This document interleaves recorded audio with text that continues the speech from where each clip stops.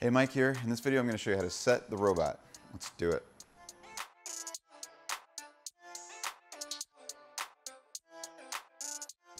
When you first get your robot or when you first load in to set, you're gonna roll it in, you're gonna put the weights on, put the feet down, get it nice and stable, put the shrouds on. And I'm gonna go over all those steps in this video. So first thing I'm gonna do is roll it in.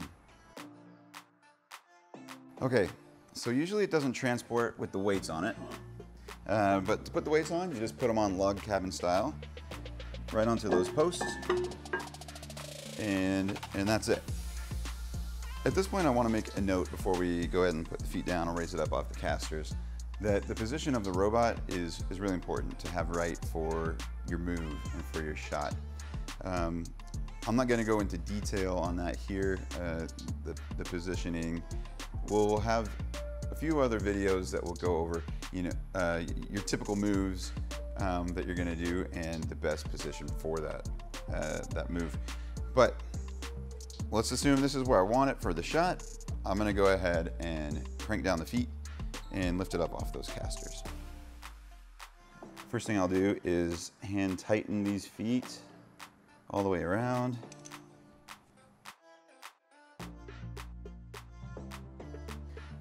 Then I'm going to loosen this jam nut. I'm just gonna turn it counterclockwise a few turns, make sure I've got plenty of space to actually lift up. Okay, now I'm gonna use the hand crank. Some people like to use an impact drill or a drill for this. It does make it a lot faster, but I'm gonna go ahead and show you with this hand crank. All right. So I like to turn it 8 to 12 times on each foot. I found that that usually results in a, uh, a good height of the robot.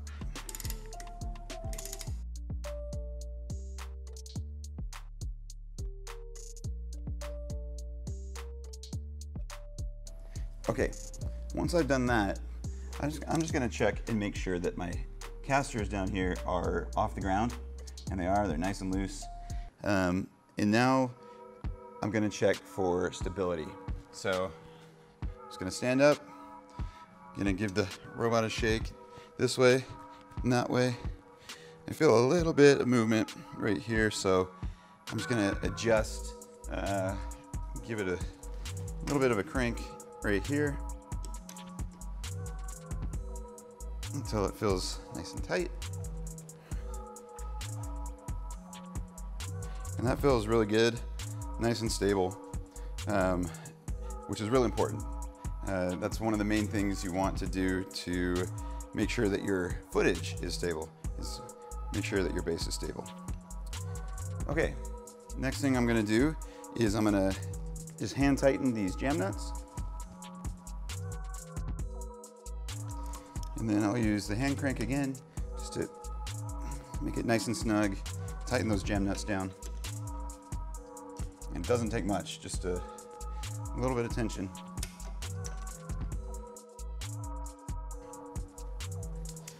All right, and those jam nuts are important.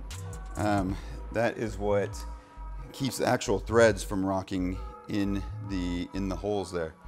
Um, so if, the, if you did feel any shake before, once those jam nuts are, are locked down, it's gonna really feel a lot more stable. Okay, so that's uh, the feet. We've got the weights on there. It feels really stable. The next thing we're gonna do is we're just gonna put the shrouds on.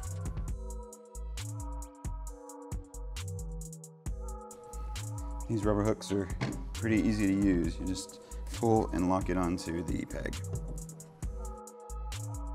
The last thing I'm gonna do is I'm going to put on the outriggers. Actually just one to show you how to do it, and I'll let you do the rest of them. So I've got my outrigger uh, and the bolts, and then an eight millimeter hex wrench.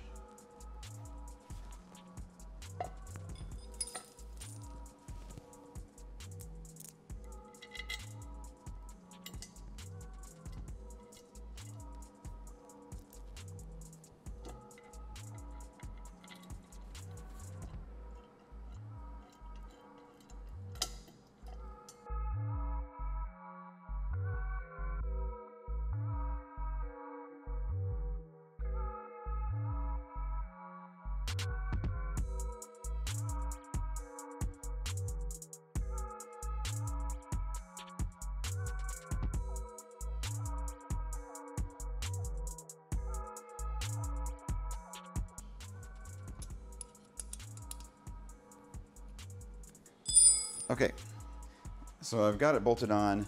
Um, the foot is actually off the ground. I don't know if you can see it right where it is, but uh, as a note on these outriggers, they are not to support the robot. They're not to uh, take any weight.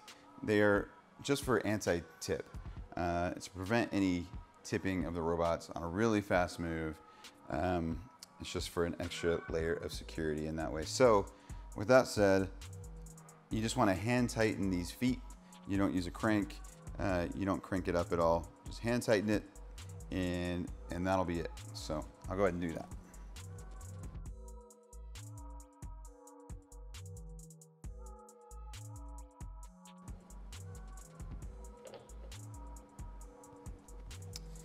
All right, and that's it. Uh, you repeat that three times, you've got your four outriggers on there, and you're ready to roll.